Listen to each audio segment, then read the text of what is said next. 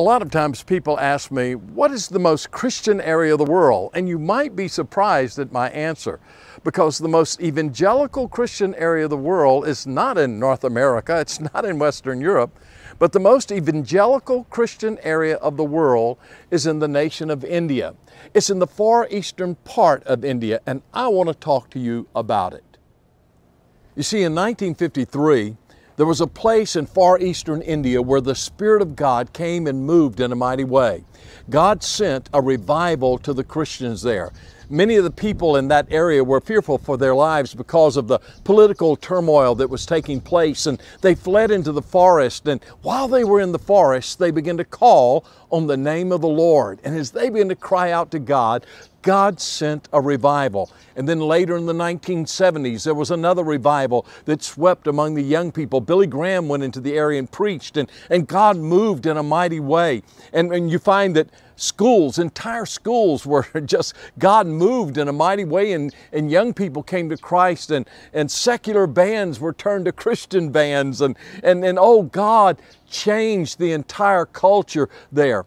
But one of the interesting things is that when you go to Nagaland, in many of the churches, you'll find, you know, the sanctuary where they go to worship, but you'll find a, a little room right next to it.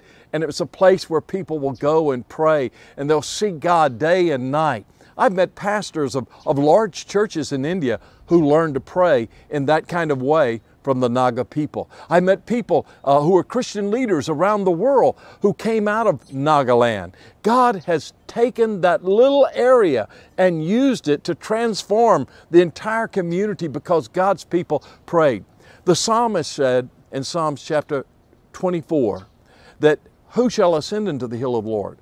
Who, who will stand in his holy place? And it goes on to say, "He who has clean hands and a pure heart. And then it says, this is the generation that seek the Lord. Now, that's the generation that will see the outpouring of God's Spirit, the generation that will seek the Lord. The, the people of Nagaland have much to teach us, but they mostly teach us about prayer and what God wants to do and what God will do when we pray. Oh, I have been so inspired by the Naga people. I, I, believe in America, Western Europe, all around the world, we can learn from the people of Nagaland. The great revival that God sent to that area of the world that has made it one of the most evangelical areas in the entire world. Let us seek God. Let us be the generation that seeks Him.